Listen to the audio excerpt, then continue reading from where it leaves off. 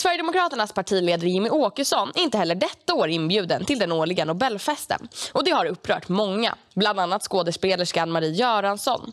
Hon uttryckte sin ilska i TV4s Nyhetsmorgon genom att beskriva det hela som en falsk demokrati. Ulf Kristersson hade inte ens varit statsminister om det inte var för SD. Då hade de inte haft tillräckliga mandat. Och fortsätter förklara att hon tycker att det är en demokratisk princip.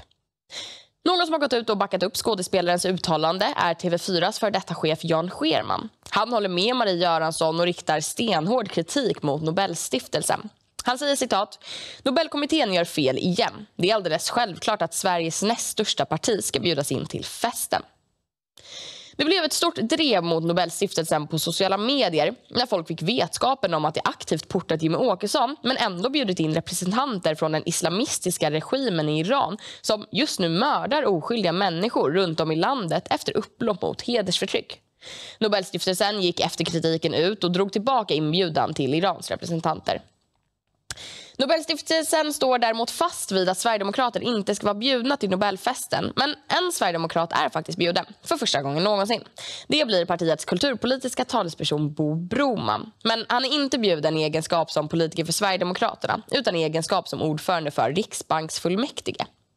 Jimmie Åkesson har själv skämtsamt kommenterat det hela med “Jag visste inte att jag bett om att få komma” och fyllde på med “Skulle nog aldrig ha tackat ja till den festen, även om jag blev bjuden”.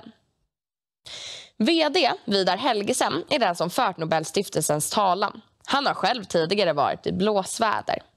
2014 avslöjade tidningen Omvärlden att Helgesen fått sina räntor och amorteringar betalda av biståndspengar.